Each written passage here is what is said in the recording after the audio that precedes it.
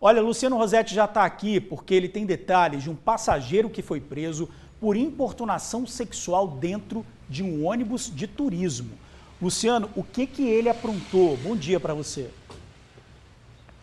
Pois é, meu amigo. Bom dia para você, para Bruna, para o amigo, para a amiga do TN que nos assistem. Exatamente, uma pouca vergonha danada, né, George e Bruna? Vou contar o caso para vocês rapidamente. Esse caso, né, ele foi registrado ontem por volta de 6h15 da noite, no quilômetro 18 da BR-262, na altura de Viana. O que, que aconteceu?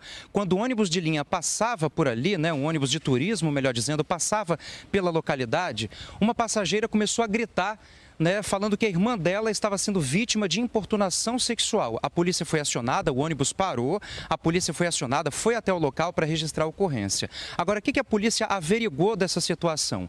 A passageira contou que ela estava sentada numa poltrona, né, e do outro lado do corredor tinha um rapaz, né, um homem, o importunador sexual.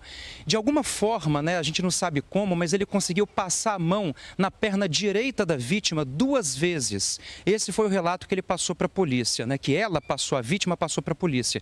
Que o importunador ele conseguiu passar a mão na perna da vítima, na perna direita, por duas vezes. Nisso ela contou para a irmã, a irmã começou a gritar dentro do ônibus, claro, né, para o motorista parar o veículo. O motorista parou o ônibus, a Polícia Rodoviária Federal foi acionada, foi até o local e fez a detenção do suspeito, levando ele para o DPJ de Cariacica, né, a Delegacia Regional de Cariacica. A gente tem imagens desse suspeito, né, ele foi identificado como Luiz Eduardo Cândido de Jesus. Luiz Eduardo Cândido de Jesus, esse seria o nome que a polícia identificou a respeito do agressor. Então, só para a gente é, é, é, alertar né, a amiga do TN, ó, se você for vítima de importunação sexual, fale, grite, faça igual a irmã da vítima. Né? Ela contou para a irmã rapidinho, a irmã começou a gritar, para o ônibus, para o ônibus, motorista para. Minha irmã está sendo vítima de importunação sexual. Ele parou, chamou a Polícia Rodoviária Federal, que tomou as providências cabíveis. Agora ele está preso, né? Justamente.